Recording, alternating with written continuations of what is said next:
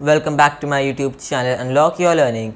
In this video we are going to see ICSE Maths Class 7 Maths Today Chapter 10 Linear Inequalities. Today we will learn about what are linear inequalities and what are the symbols used in linear inequalities. First of all we, know, uh, we need to know that what are linear inequalities. So friends, as we have solved some linear equations in previous classes, we know that in a linear equation, the LHS is always equal to the RHS, right?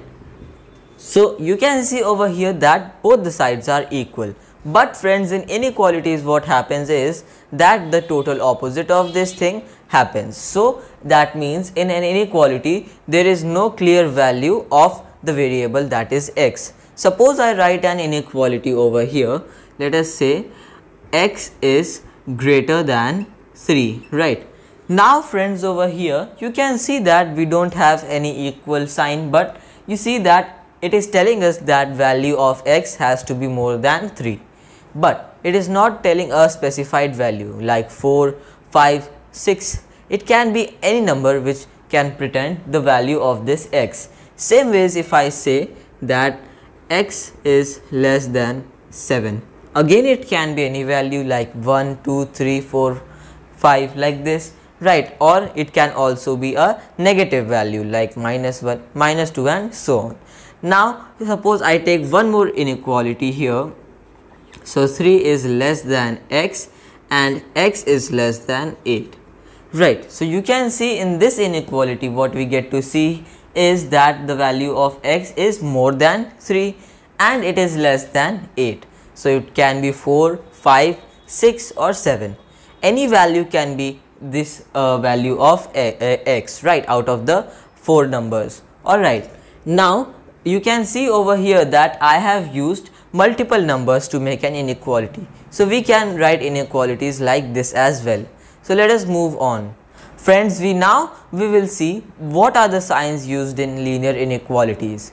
So, first up it is the basic two signs which we have we, we have been studying from pre previous classes, right. So, first of all some sign like this I am making here, right. So, this means what? Less than, right. So, any number that is written to the left of this sign where this closed part is that number is less than the number towards this open part right so you can take an example like 5 less than 6 so you see 5 is less than 6 all right now if you simply oppose this thing so this becomes greater than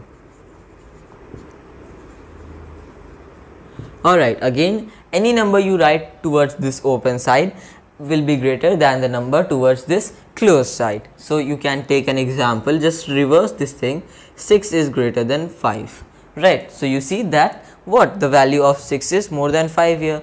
Now we will see some new signs, two new signs, but they are almost the same, right. So first we have written here this less than sign and then this we have drawn a bar at this bottom a horizontal bar. This represents less than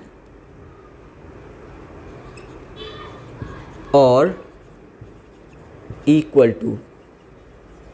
Alright so this is representing less than or equal to.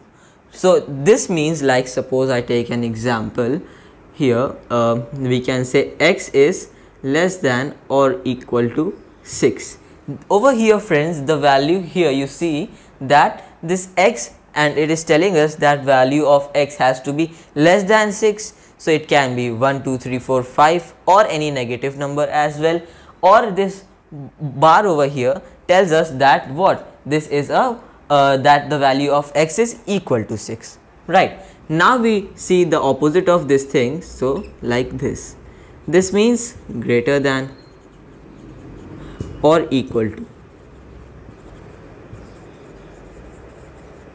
alright so you see here again simply uh, you can say that x is greater than 6 or equal to 6 simple as that. Right. So this is the value of that. And friends this is all for today. If you are new to my youtube channel don't forget to subscribe and hit that bell icon down below so that you get notified whenever i upload a new video. Till then stay home stay safe wear a mask maintain social distancing and take care. Bye bye